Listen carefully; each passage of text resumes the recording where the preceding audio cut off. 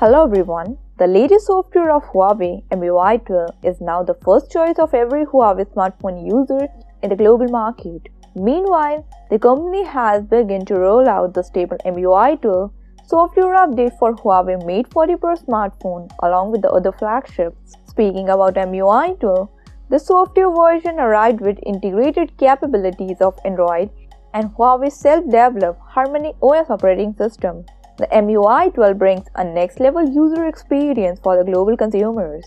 As Huawei Mate 40 Pro is the flagship smartphone, it got front tickets to enjoy the taste of EMUI 12 software system through the beta testing program which was started last November.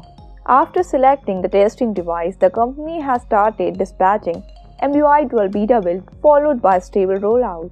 On January 8, 2022, Huawei has released the stable EMUI 12 for Mate 40 Pro. However, this update is in initial state of rollout and expanding in batches. So, let's explore. To know more about what Huawei Mate 40 Pro EMUI 12 changelog brings, you can check all the changes on the screen.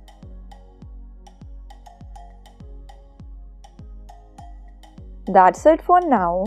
If you like this video, then give it a thumbs up Leave your thoughts in the comment section and subscribe to our channel for more amazing content.